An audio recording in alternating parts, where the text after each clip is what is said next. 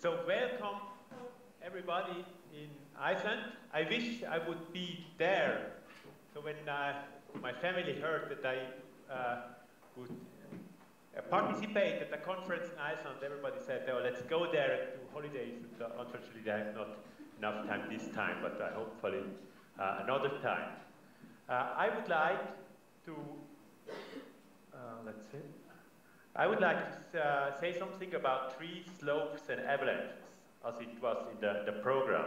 And uh, the content of my presentation is that I uh, would like first to talk a little bit about forest dynamics and avalanche forest interactions in the Swiss Alps. Uh, then what we can learn about uh, from high altitude deforestation in the Alps, where we have uh, many decades of experience and uh, then I would like to come in the last slide uh, uh, to, back to Iceland and ask myself what we can learn maybe from there or how the situation is there. in the Alps, we have increasing forest cover since 1850 about. You see here uh, two pictures from uh, my hometown, Davos, where uh, I grew up and where I still work and live. So uh, on the left, Davos in the year 1900, and uh, on the right, a current picture. And uh, when I oh, when I add pictures from uh, inside of the forest, then we, we see it was a, a grazed forest before. It's very typical 100 years ago. Now we have there where we had a lot of grazing, a lot of management. We have dense, even age forests, usually spruce forests with a, a low resilience and a high susceptibility to disturbances. So these are quite major problems we face now in, in uh, forest management in, in Switzerland.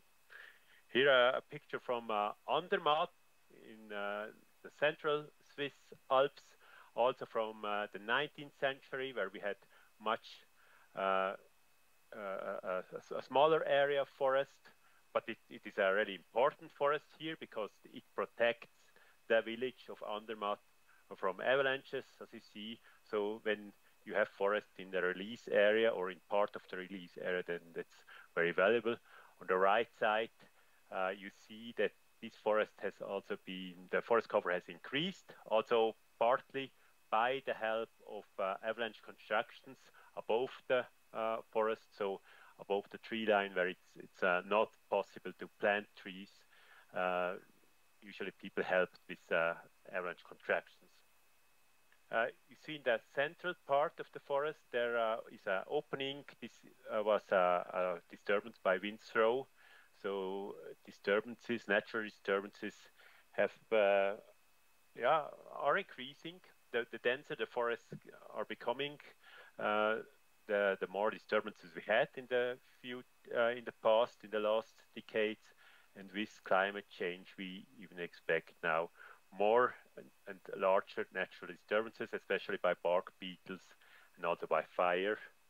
So we have uh, these situations here, which are uh, yeah, a concern also in terms of uh, uh, protection against natural hazards, a village uh, with a protection forest above it, uh, which has been uh, destroyed first by wind throw and afterwards follow-up disturbances by bark beetle disturbances. Now, avalanches, we have, you, you know that we have basically two effects. First, in the release area, uh, forest prevents from avalanche releases, and uh, when the avalanche release is released high above the tree line, we as a rule of thumb, we say more than 150 or 200 meters above the tree line, then actually the, the uh, forest cannot resist enough. So we have landscape changes. We have these avalanche tracks, uh, which are uh, are uh, valuable from a landscape uh, point of view, but uh, they are also sign of uh, tree disturbances permanent. I think, yeah, when we go into detail, so influence in the release area, we have several in influences. what is very obvious is that, that the snow depth is uh, lower usually in the forest stand, and we have a, a more disturbed uh, snow uh, cover, so we have less of of uh, these hom homogeneous layers where uh, avalanches may be triggered. Just a, a picture here, a, a, snow profile outside of the forest and on the edge of the forest and inside of the forest. Then uh, when the avalanche is released high above, I have a video here. So uh, this is what this is happening.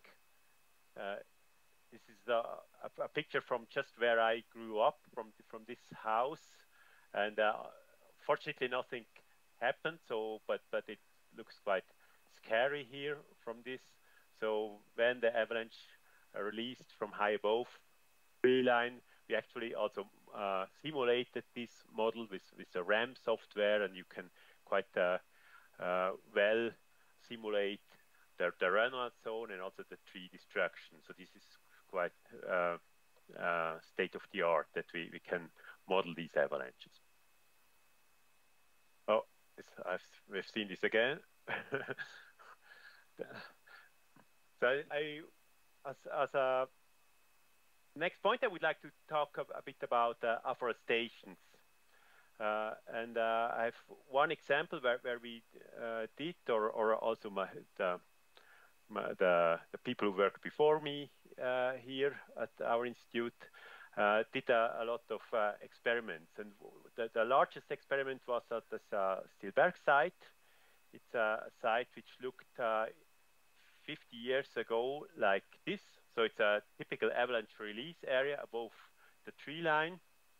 We have uh, on the right side some uh, temporary wooden avalanche barriers. In one part of the experiment, the rest is without these. And there were many uh, many avalanches came every year actually on, on this slope. And then in 1975, uh, the whole slope, so from uh, the tree line until high above the tree line was planted with, uh, with trees, with three different uh, tree species. So one colored dot is just is 25 uh, trees of one species. It was the most promising species uh, based on uh, first trials in, in these areas with stone pine, mountain pine, and European larch. And they were planted here in a regular pattern. So what is white is just a, a climate station and a trail and so, some rocks here. And uh, I, I, just walked through this experiment uh, through the last 50 years. So after 10 years, uh, we, we, we, saw a, quite interesting survival pattern. So in, in the lower part, the, trees survived. In the upper part, not so many trees survived. All tree species did, did uh, quite well, but it, it was a difference uh, mainly the altitude, but we saw also that the, the microsite mattered. So, so some microsites, uh, all the, the trees died, other microsites, the trees survived very well. So microsite uh, mattered a lot, and temperature. Then after 20 years, the pattern looked like this. So Larix decidua, the, the European larch, turned out to be on this side the, the best surviving trees, also in the higher uh, elevations. The other tree species had uh, problems. A main cause of that was uh, snow fungi. So where the, the snow cover was lying long uh, until May or so, then the, the trees has had quite low survival probabilities. And this uh, it was, was quite a, a, bottleneck stage, this, this age. After 30 years, we had uh, additional or other uh, drivers or, or, problems, so mechanical damages. The tree were uh, a bit higher, and uh, frost events were more important. So late frost events, uh, um, yeah, were um, um, quite a, a, major mortality factor in this in this uh, stage. And uh, we see now that, that the Larix was not not only in the highest side, also in the lowest sides, the, the best surviving species here. And now the, the pattern looked uh, like this. So we have uh, still about uh, almost 30% surviving, almost only the larix. The trees are getting higher, especially in the, the lower part, uh, and they start to uh, have com competence competition. So it's a it's a quite a change of the drivers of the most important mortality and growth factors within these last 45 years. When you look again at this uh, site, you see that the tree line is at about 2,100 meters here, uh, but we see that uh, uh, with afforestation, it was possible to uh, grow tree or plant trees in an avalanche release area also, also higher up. The right side, you see these, these larches at the top, and they were growing in the last 15 years, and this was also a, a partly a, a cause of, of, a climate change. They were growing even more in the higher part than in the lower part where uh, there was more competition.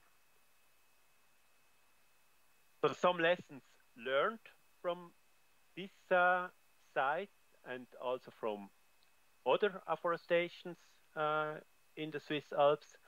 Uh, it's, uh, I think it's important to plant trees not everywhere. So this was a this Stillberg afforestation was a, a, scientific experiment. So it was so tree was one tree was planted after the other in a systematic pattern. But in nature, we uh, or also as a learning from this, it's better to study first the environment, look at the slope from the other side, see where is the snow lying long. For example, when when where in June there is still snow, it's not, not really promising. Uh, and, and study the microsite conditions. Today with thermal cameras, it's, it's very easy. So you have high contrasts on, on small areas of the microsite. Also respect soil my, uh, uh, so, uh, soil properties, natural hazards from above, of course. So when, when there are natural hazards coming from above, then it's uh, it makes not much sense to to plant trees there. Uh, then important, uh, it, it's important to aim for for uh, heterogeneity, also in a, already in an early stage. So what we recommend is, is usually to start planting on the on the most promising sites. So on, on this uh, in this environment which we have here, it was more on the on the ridges and on, on the uh, sunniest sunnier sites, and uh, plant the trees in, in clusters so that uh, they can the trees can help each other but don't compete each other too much. And with the time when we have a certain forest climate it's uh, possible to grow other uh, trees in in the gap. So we have uh, we have often the uh, situation that uh, for example in our situation larix uh, was growing well and but in the protection of the larix other species like spruce or other um, evergreen species could grow well and were less damaged by, by frost, by late frosts. Uh, and uh, it's important, it, it is different like in this picture here, important to evaluate and use different tree species as much as possible. Yeah. Also, we had uh, in the past in Switzerland, we had a lot of problems with uh, too dense afforestation. So uh, after 50 or 60 70 years, they look often like this, so are, are often very susceptible to disturbances in, in later stage. These are pictures I, I also saw uh, recently in, in, in, Norway, where we did some visits in, in uh, afforestations, and uh, I saw there the very similar problems now with these old uh, Sitka spruce afforestations like we had uh, uh, in the in the past. And what, what we try here is uh, to do management interventions. If, if we did, did not do this uh, cluster afforestation pattern, then uh, it's, it's necessary to do some interventions in early stages. So as long as the crowns are uh, not short, as long as the crowns are green, uh, so that we have some uh, heterogeneity in the in the in the in the pattern. Uh, also, a lesson learned from the past in Switzerland. I mean, avalanche protection forest or afforestation for avalanche protection forests are often very, very valuable. So, uh, I think we, many villages could not be uh, um, enlarged or, or, many valleys would, would uh, it would not be possible to, to live in some valleys in Switzerland without these afforestations. But uh, also sometimes we have afforestations where there is not there was not much to protect, and other uh, where we have very valuable uh, pastures before. Uh, like in, in, in, this case, we have here also a, a very dense afforestations on a site which would uh, without forest very valuable from a biodiversity point of view or from different other so or from habitat point of view and uh, I certainly for for uh, for uh, when you when you look at the climate or when, when you look at the carbon balance then it's uh, it's uh, it's it's also very positive and valuable. We made also an analysis a long long-term analysis about the effect of the uh, of trees in snow-rich areas on the albedo, and there we saw that uh, yeah, at least a part of this gain on the climate forcing uh, was offset by the albedo effect. That uh, a dark uh, green forest uh, has a lower albedo than the, the white snow cover. But that's just as a as a side note. no avalanche protection forest in, in Iceland. So uh, I, I was never in Iceland, so but this is something we we certainly should discuss afterwards. Uh, generally, I, I, think it uh, or what what I have seen from from uh, the the pictures which I have seen so far from from Iceland, I, I think uh, where we have the the very the release area of the very big avalanches uh, like on the this picture above, uh, I think it's a, a, a, very limited potential to to uh, grow their trees, at, le at least at the current climate, because I, I don't think that it would, will be easy to to grow trees here. But you you know better. You can uh, tell me how the situation is. But but I think in uh, in a case like the, in the the lower picture, uh, this is this uh, Olafur has, has sent me this picture. So I, I think here it's it uh, it's quite a, a, potential to grow trees high when, when the trees are growing here uh, behind the the house. I don't think that this helps a lot uh, for, for the for the protection against avalanches because if, if the avalanche comes from above, then it, it may dis destroy it.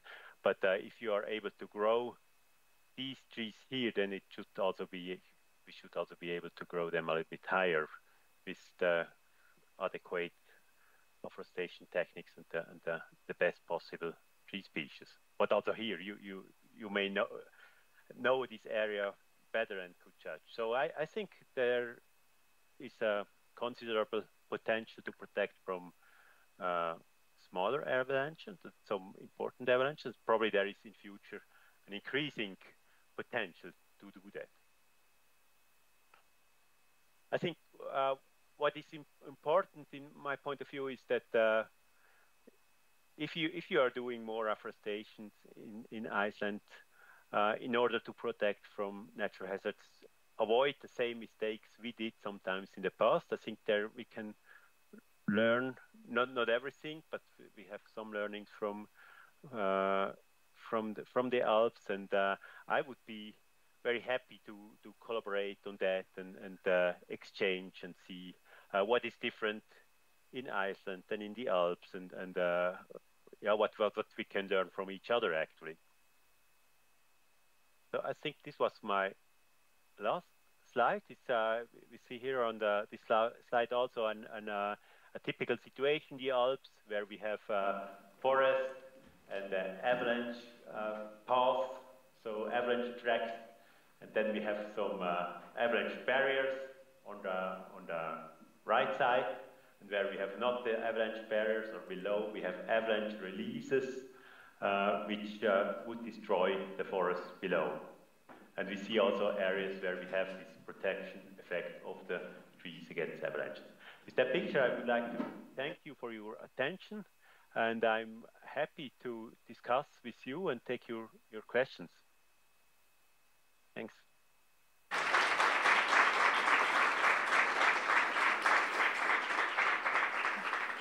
I, I guess you can hear us, Peter? I hear you. Yeah, good. Uh, we'll open the, open the floor for questions now. Any questions for, for Peter? Yep, Brynjólfur.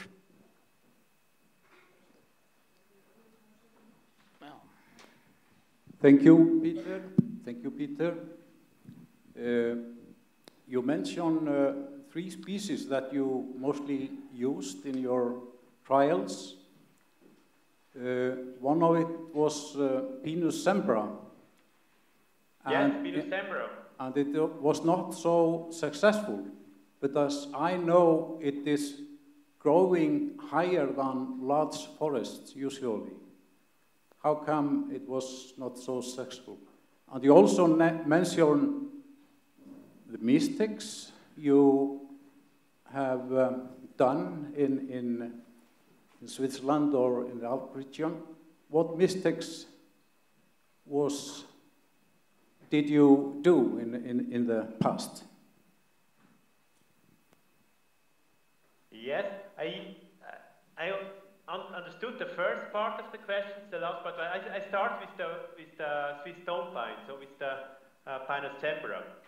Uh, so this was, in this area, it was not so successful, uh, mainly because they were affected by snow fungi. And the, the main reason why it was not successful was because it was not only planted where this Swiss stone pine uh, grows originally, or wherever it's the favorite site. So this is mainly on the ridges. The Swiss stone pine is uh, distributed by the, the, nutcracker, so by a bird, and the bird uh, hides the seeds of this stone pine mainly on, on, on, uh, on ridges, where the bird can find them again in the winter. And this is the natural habitat. And in afforestation, people neglected that and uh, planted them all over the place. And the effect was that uh, on, on, the areas where, uh, on, on the, in the gullies, when they were planted in the gullies, they were affected by snow fungi, and these snow fungi were spreading also to better sites. So it was, uh, I think it was, if the stone pine would have planted only there, where also in nature it grows favorably, then uh, I think it would be much more successful. So I'm, I'm not sure if Swiss stone pine is a species which would be an option also for, for Iceland. It's very, very uh, frost resistant. It has many advantages. Right? Yes, we planted here. Okay. Did it yeah. well? Oh, yes, very well.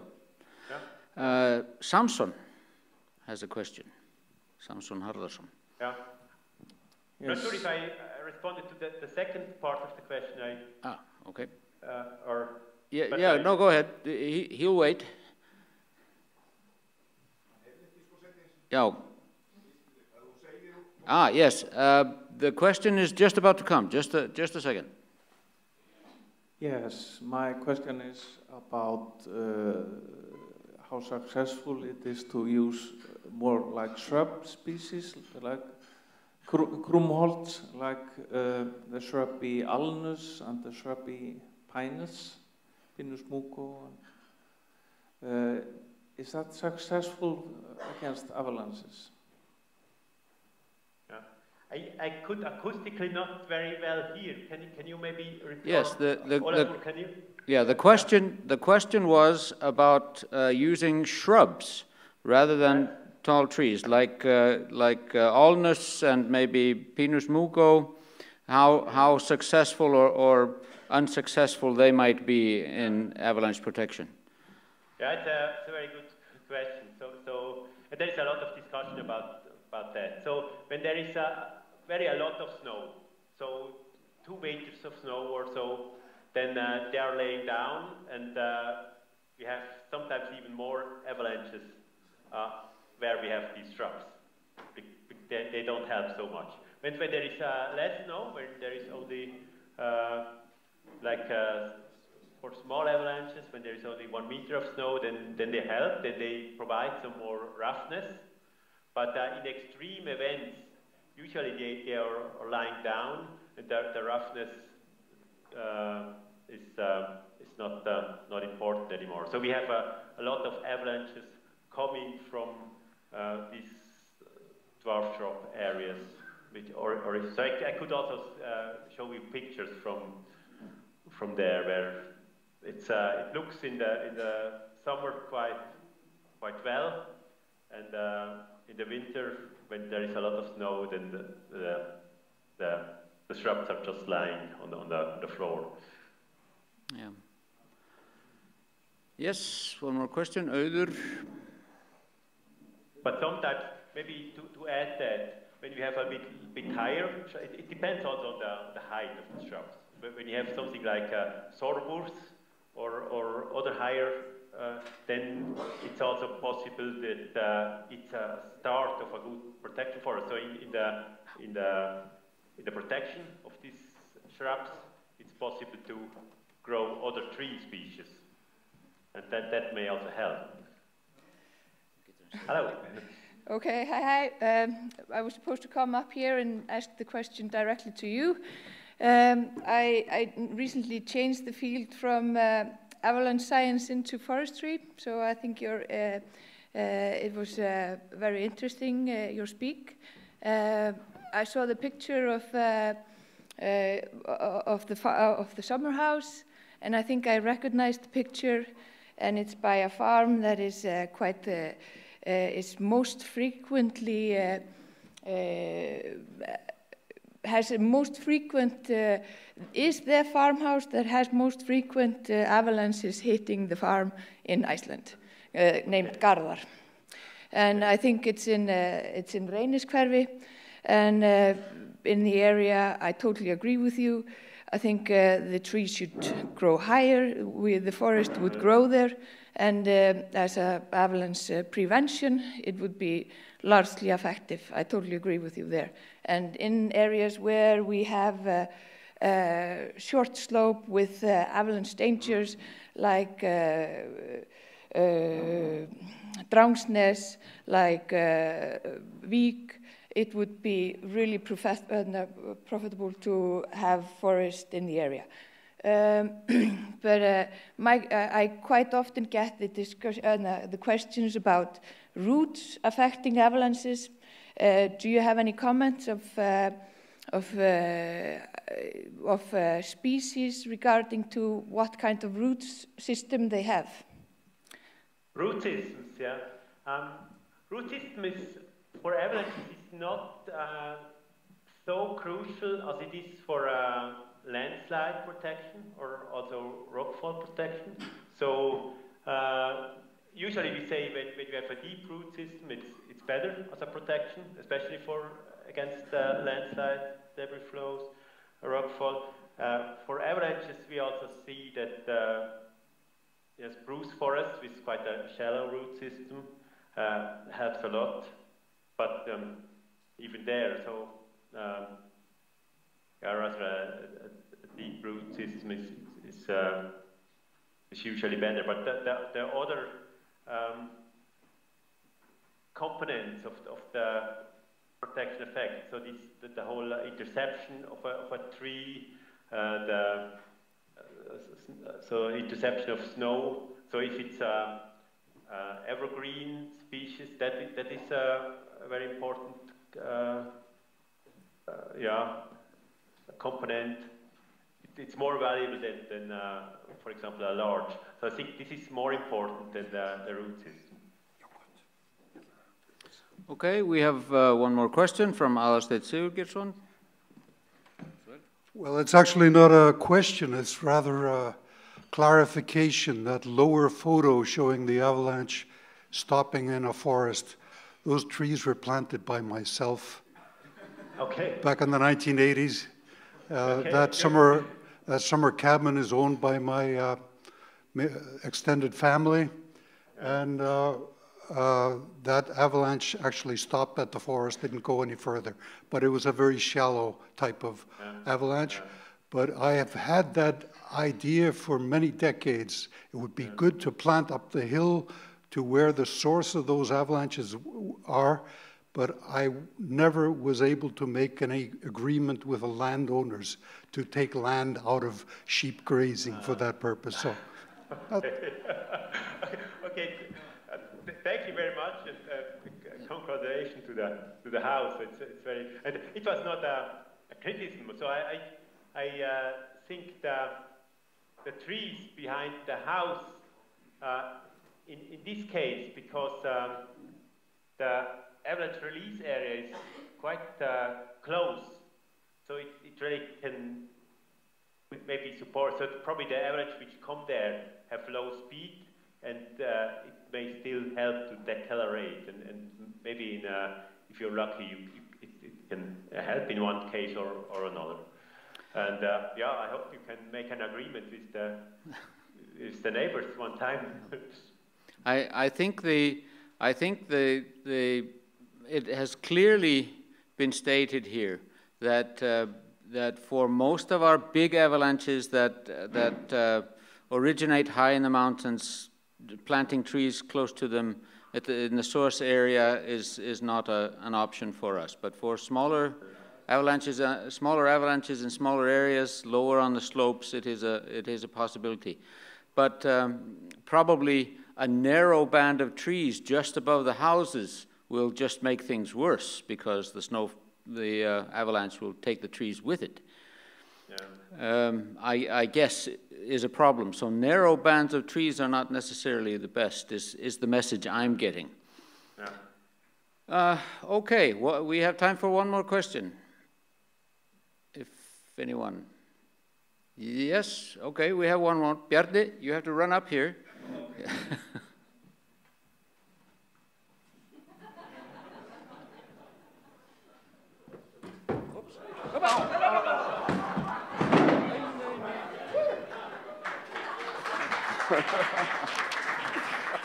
just, just to make it, uh, have some fun. Uh, no, I think also I, I agree with, with Thruster. We have been very interested in the forestry sector in Iceland. Uh, if we should introduce more protective uh, afforestation, uh, we have not really, be, really been planting trees for avalanche protection. And for example, this rule of thumb that you said, that if the source area was more higher up than 150 meters above the plantations, that is like the limit where the trees will stand and stop. The avalanche, I think this simple things like this is actually a very important message you are telling us. Yeah, this is something we, we learned from past events, but also from modeling. Uh, when you have a, shorter distance, this is also, uh, when I refer again to the, the, pic, the, the last picture, when we are between uh, 0 and 150 meters, then it's something that uh, forest may have some limited effect, but yeah, you don't really can count on it. So, so I, I think the, the rules of thumb is, is useful. Yes, thank you. Okay. Um, yep. Yeah, okay it was just pointed out that, that you didn't actually answer the first question that you got about what specific, what specific mistakes that you have made can you warn us about? Yeah, yeah. I, I think the, the main mistake is to uh, plant uh, too dense avalanches just with neglecting uh, the nature, just with ne neglecting the microsites just plant trees all over the place and then not watch them. Just uh, let them grow, and after 30, 40, 50 years, you have all the, the problems and uh, often not very successful uh, plantation. So it's, it's uh, I think it's important to study the, the sites, study the nature, uh, think about the, the different species, try to bring heterogeneity in the, in the in the stand. So not only, if possible, not only one species because it's a higher risk. It's it's, it's a less risk when you have maybe two or three species. Um, yeah, this is the, probably the most important message. Yeah. Okay, thank you. Thank you very much. And thank you for being with us today. We'll, we'll say goodbye for now, and please give him a good round of applause.